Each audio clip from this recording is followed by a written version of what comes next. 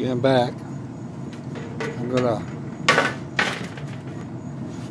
pour a little the juice from the watermelon onto the watermelon.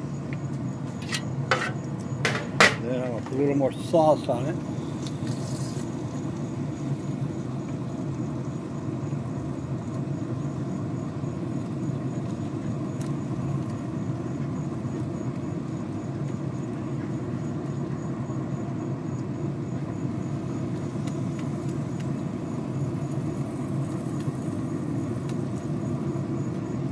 Okay, this will be the last time I put anything on the whole. Oh, I can't believe I did that.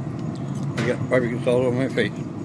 This will be the last time I put anything on the watermelon. Um, going to cook like that for about another hour. Actually, I'm going to turn the temp up to 250. Make enough pellets.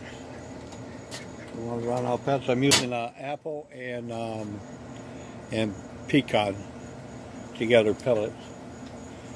And my pork, actually when the pork gets done, that's when I'm going to take the watermelon out. My pork is at 177. If it gets to 200, I'm going to take it out, let it sit for an hour, and then pull it. Uh, bring in my stuff because it's going to rain, I think, pretty soon. This is Squash. Bye.